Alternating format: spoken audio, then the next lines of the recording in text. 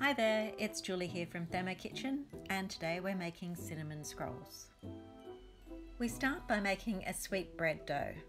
So we add 310 grams of warm tap water, 2 teaspoons of yeast, and 20 grams of white sugar. Place the lid on the TM bowl and allow it to heat to 37 degrees for 1 minute, speed 1. Next we add 520 grams of baker's flour, a teaspoon of salt, 2 teaspoons of bread improver, and 20 grams of oil. Place the lid on the Thermomix bowl and combine the mixture by putting it on 20 seconds, speed 4. Now you'll find that you have a shaggy, non-cohesive dough. Just scrape the bowl down, put the lid on and go to dough mode. Select the dough function for two minutes and allow the machine to do its magic. After the two minutes, you'll find you have a cohesive ball of dough that's ready to proof. Next we want to grease a bowl ready for proofing. So to do this, just rub some oil around the outside.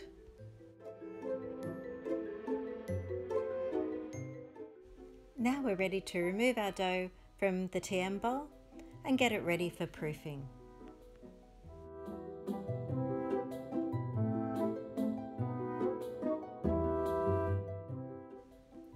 Use your hands to form a nice round ball with the dough. Smooth over the top and tuck the edges into the bottom before placing it into the prepared bowl. Now we cover the bowl with Glad Wrap and we leave it somewhere nice and warm to proof. The dough should at least double in size, if not triple. Okay, so now we're ready to put together our apple and walnut scrolls. Um, so we've got our dough here, which is beautifully proofed just spray some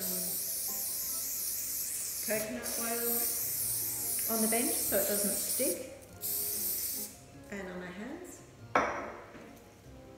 I'm just going to spray this dish. So our beautiful dough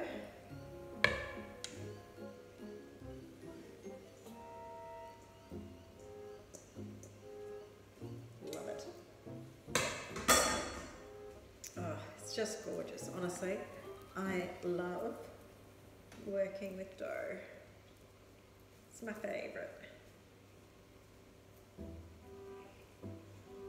So we're just popping this out into a rectangle, being nice and gentle with it um, because the yeast, it's done its job. It's um, fluffied up the dough. I don't want to press all of the life out of it. Okay, so first step. In here I've creamed some brown sugar, butter and cinnamon and the exact quantities are going to be in the story but it's um, 125 grams of butter, 125 grams of brown sugar and a teaspoon of cinnamon. So we're going to spread this over our sweet dough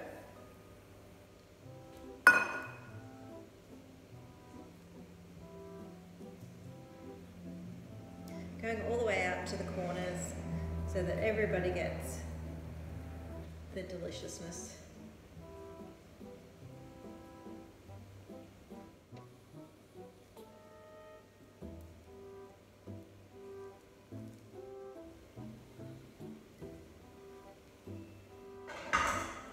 Next, I've got a packet of walnut crumbs and this is 125 grams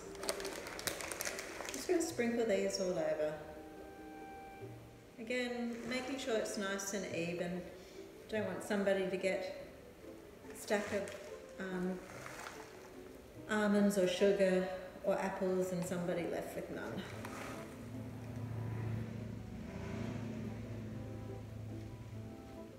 And now we've got um, regular pie apples. So these are the ones that come in the can. Um, they don't have anything else added. There's no liquid if there is any liquid, we make sure that we don't get it onto our scrolls because we don't want um, soggy scrolls. Okay, now if we're going through them and we can see some that are a little bit thicker, we do want to just slice them um, because, um, again, it's going to be um, a bit overwhelming to have a big bit. But mostly, they're a good size. So we just pop these over the top.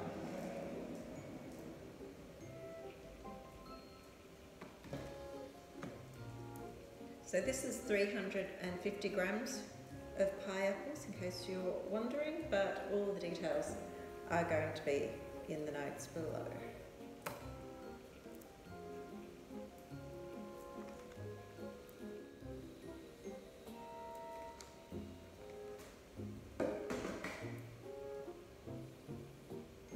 Okay, now I'm not sure if you can see, but I haven't gone right to the end with the apples. And the reason for that is because we need to roll it up and we want to have an end that's easy to fold over without coming undone because of too much filling. So here we start, I'm going to start at this end closest to me and we just lift this up and start rolling. So we're rolling from the widest end being not going that way, but the widest. It can be a bit rough, nothing's going to go wrong with this at this stage. Okay, and once we get to the end, you can see if I had have put apples here, they would have been um, pressing out, it would have been a bit awkward. So now we just lift this over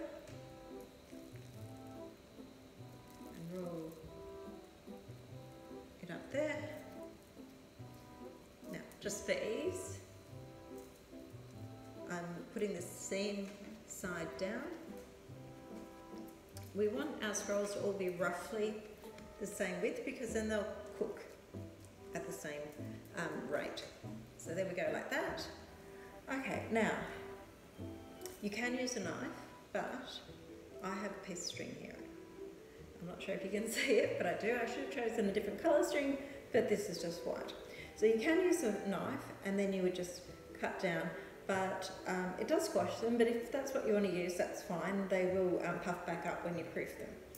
But we can just go through like this to about the halfway mark, cross over and there we go.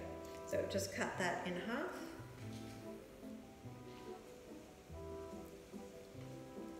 Then in quarters sliding that under again.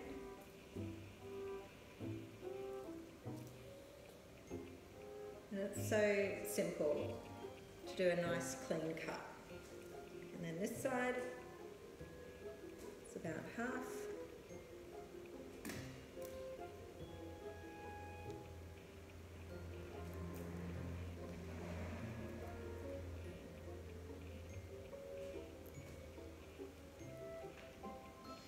There we go. It's mostly even, not exactly even, that's okay. So we've greased our um, dish and we're just going to place these scrolls. How gorgeous are they, honestly?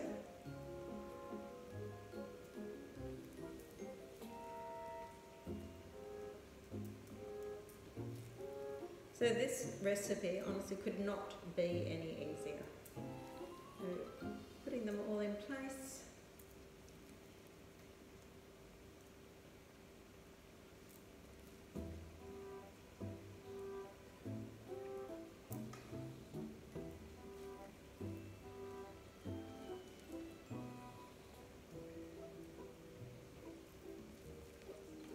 And the last one goes in the middle.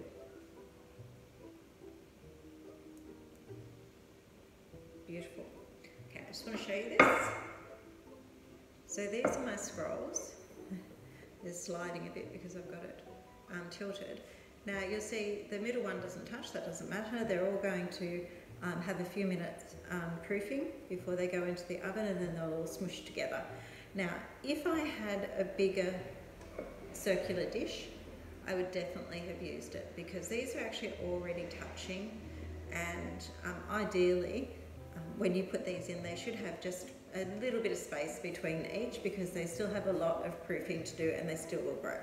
So even though I don't have a big enough container, these will still be fine. They just would be prettier if they could get their own round shape, whereas these are going to all mush together.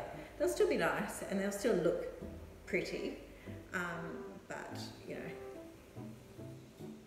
be better if they were a little bit separated. But there we are. And I am going to cover these with a tea towel, leave them somewhere warm, and I will be back to show you how they turn out. Okay, here are our scrolls. Now they're finished proofing. I could leave them a bit longer and they would puff up further, but like I said previously, there's really not enough space in this dish for them to go much further than this. Um, so I'm just going to pop them in the oven.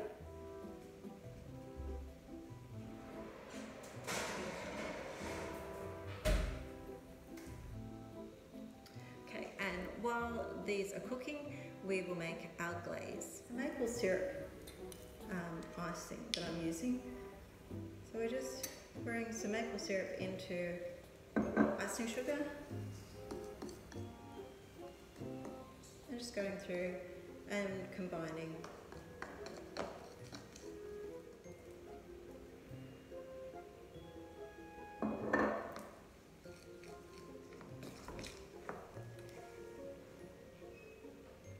So that looks about right to me. We're just going to use this then to swirl on the scrolls as they come out of the oven. Okay, so we're ready for the final stage of our scrolls. So they've just come out of the oven and they're looking big, beautiful and delicious. They've um, been sitting on the bench now, so they're still warm, but they're not hot.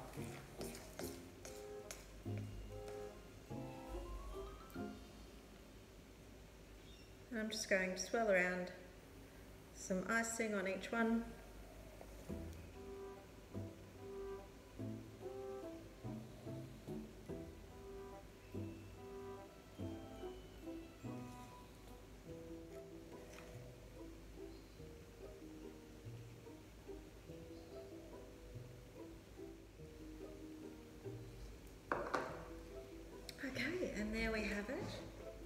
Delicious apple and cinnamon scrolls all ready for afternoon tea.